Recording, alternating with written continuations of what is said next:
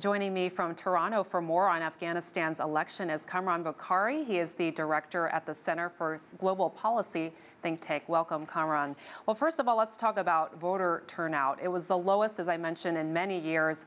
What does this say about voters' faith in the system? It doesn't say much. Uh, I mean, yes, people don't show up to cast their ballot because they're afraid to, you know, be killed or maimed in an attack by the Taliban but it's bigger than that. There, there's also the bigger question that do people really have faith in the political system?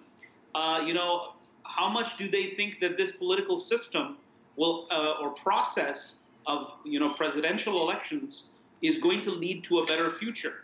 So 20% to me says not a whole lot of people are putting their faith in the system, and that is you know speaks volumes about the bigger problem of negotiating with the Taliban. Yes, this goes to my, my second question. What does this low turnout say about the influence of the Taliban who used violence, as again, uh, as they have in previous elections, to disrupt the vote?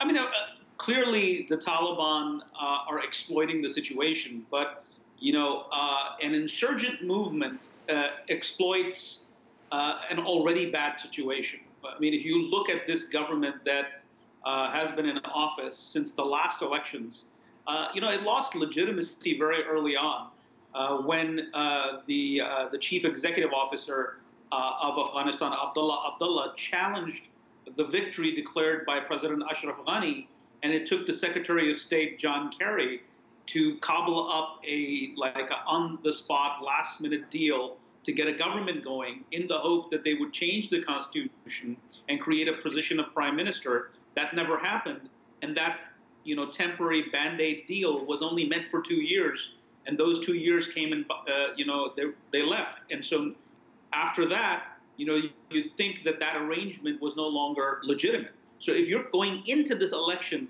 with an, a, a pretty illegitimate situation, then how do you go ahead and then move forward? Right. So the, the, government wants to negotiate with the Taliban, but the Taliban refuse. So can you can you see the election changing that stance at all? No, I think that the if anything, this points to the weakness of the Afghan state. That unfortunately the United States has spent, uh, you know, and the international community, uh, close to a trillion dollars, in the last 18 years trying to construct a, a, a democratic, uh, you know, structure in which you know, various Afghan groups can come to terms with one another. You know, if you just sort of set aside the Taliban who oppose this political system, even those who've participated, the various factions, uh, they haven't really learned how to, you know, agree to disagree. So if the mainstream is incoherent, how can you bring in a movement from the outside uh, that actually opposes the system uh, to begin with? And this is an argument I made last fall when the United States started to negotiate with the Taliban, saying these talks are pointless because you don't have a mainstream in which to absorb the Taliban. All right, Kamran Bokhari with the Center for Global Policy, thank you so much for your insight.